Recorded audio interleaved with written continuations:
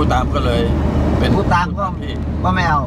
ก็ไม่เอาผู้นำเล่นไปเออครับเออเป็นผู้ใหญ่บ้านทำใครๆมันก็อยากจะช่วยผู้ใหญ่บ้าน เสร็จแล้วก็มีการแยกพวกซ้ายขวา ใช่ไหมครับเออสุดท้ายความสงบสุขในหมู่บ้านก็ไม่เคยขึ้นเพราะมันไม่แตกเกิดแยกขึ้น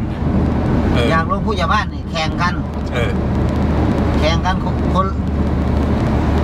คนนี้อยากจะเป็นผู้ใหญ่บ้านเออ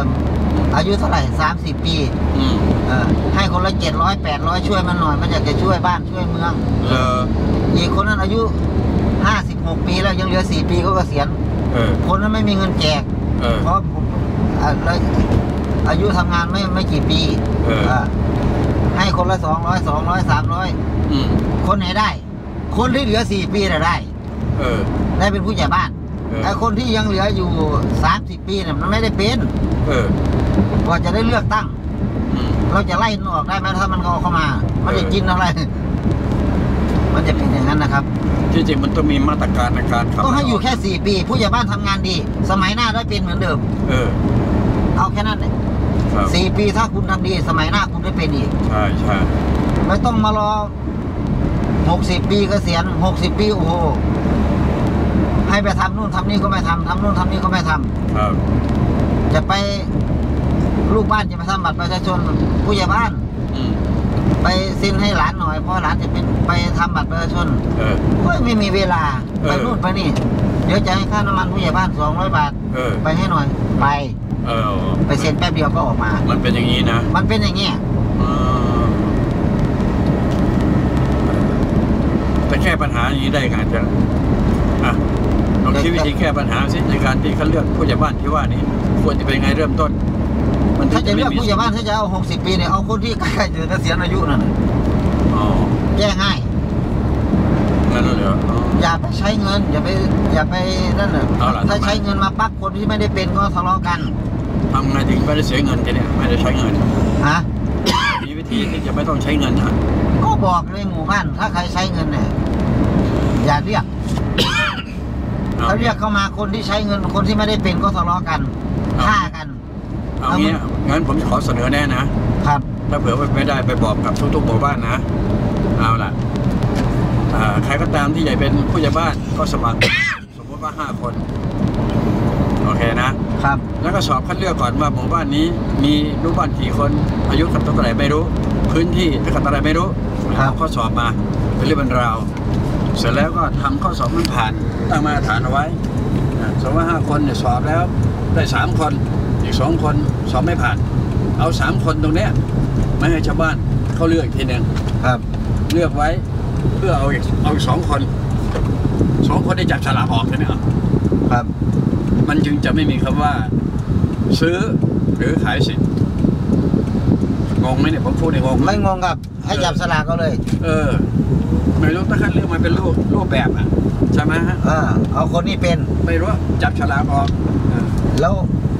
คนนี้ก็ให้หาผู้ช่วยผู้ใหญ่บ้าน เออ ถ้าผู้ช่วยผู้ใหญ่บ้านคนนี้ได้อยู่กับผู้ใหญ่บ้านผู้ใหญ่บ้านคนนี้เกษียณปั๊บเอาผู้ช่วยผู้ใหญ่บ้านน่ะมาเป็นผู้ใหญ่บ้านต่อ เพราะเขาได้ก็เดินงานกับผู้ใหญ่บ้านมาแล้วนั่นคือแนวทางหนึ่งก็แล้วกัน ครับผมแต่ทางผมเสนอเนี่ยบอกว่าใครก็ตามเจ้าการสมัครมาเลยเป็นเรื่องเป็นราวเอาว่าหมู่บ้านละสิบคนอะตั้งเป้าเออคัดสกัอนบมาผ่านเออหกคนอย่างเงี้ยนะเสร็จแล้วหกคนให้ให้ชาวบ้านเขาเลือกตัดมาสามคน เอาสามคนไปจับฉลากออกสองเหลือหนึ่งอืมถามว่าใครจะซื้อทีเดียวไม่กล้านะไม่กล้านี่คือวิธีคือเด็ดอย่างเงี้ยนะเขาเรียกว่าตัดเขาเรียกว่า ตัดมาตั้งแต่ต้นตอเลยฮะคนที่มาจับฉลากเนี่ยถ้าไม่ได้เป็นผู้ใหญ่บ้านก็ให้มาเป็นผู้ช่วยก็แล้วแต่ตรงนั้นอ่าแล้วแต่ผู้ใหญ่บ้านจะหาเอาแล้วแต่ผู้ใหญ่บ้านจะเลือกมาทีนี้เอาฟ้าเราเลี้ยวซ้ายบอกข้ามข้ามเห็นไหมครับนี่คือวิธีที่ง่ายที่สุด ราชการก็เหมือนกันในข้าราชการน่ะเห็นไหมฮะครับ ทุกมิติ ทุกองค์กรทำแบบนี้ขึ้นมาปุ๊บไม่เกิน 15 ปีประเทศไทย เป็นตัวอย่างของโลกแน่นอน เจริญเลยนะ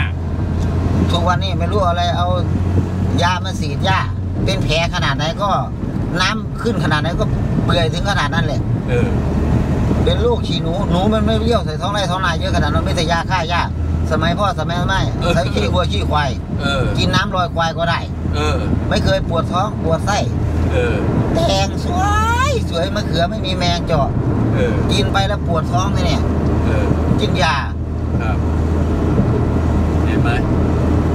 ดีใจด้วยที่ได้ยินคำว่า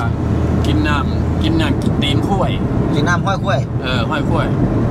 ทุกมือเดี๋ยวพอได้เลยว้าไอ้ยฉีหนูฉีหนูแอร์ก็โทษหนูแอร์ก็โทษยุงครับนะโรคเพราะยุงโรคเพราะหนู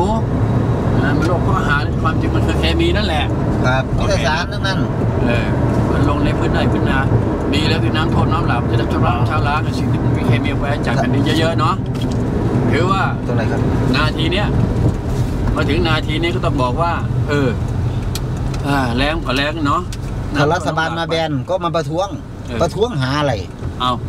ให้สรุปด้วยความให้มันตรงกันก่อนจากกัน อีกประมาณสองนาทีถึงจากกัน ครับ น้ำท่วมปีนี้ผมว่านะ เป็นบุญของแผ่นดิน มันจะได้ชำระชาล้างสิ่งที่มันเลวร้ายจากแผ่นดินไป ถูกต้องคนอีสานเริ่มต้นกันใหม่ ครับ โอเคไหมโอเคครับเออเจ้าอยู่ร้อยเอ็ดครับผมอยู่ผมอุบลเนี่ยยากอยู่อุบลเนี่ยเดี๋ยวคคนนอุบลเนี่ยนั่งอยข้างหลังอืมเมียผมคนอุบลอำเภอเดชเออผมจัดรายการอยู่นำคุณเออป้าอยู่อุบลอยู่อำเภอไหนอำเภอพิมูลพี่มุ่นพิมูลก็อยู่เด่นก็อยู่บ้านพญาอิสระสมไส้เอ่ออยู่ ตำบลดอนจิกเออพิมูลนั่นแหละก็ถือกันอยู่หรอกดีแหละครับ รักษาเหนือหน้าบุญเอาไว้เด้อครับ คนมันน่าจะทีมกัน โอ้ยบ่ให้ทีมกัน เออคนกรุงเทพประเทศไทยก็จะทีมกันเด้อครับเออแนวทางเนี่ยเป็นแนวทางที่ทำมาหากินอย่างดี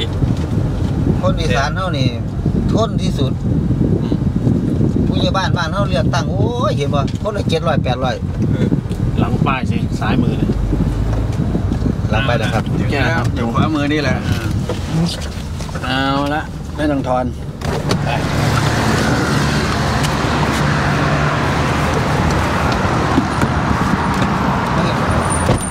บ้านนี้พี่บ่นี่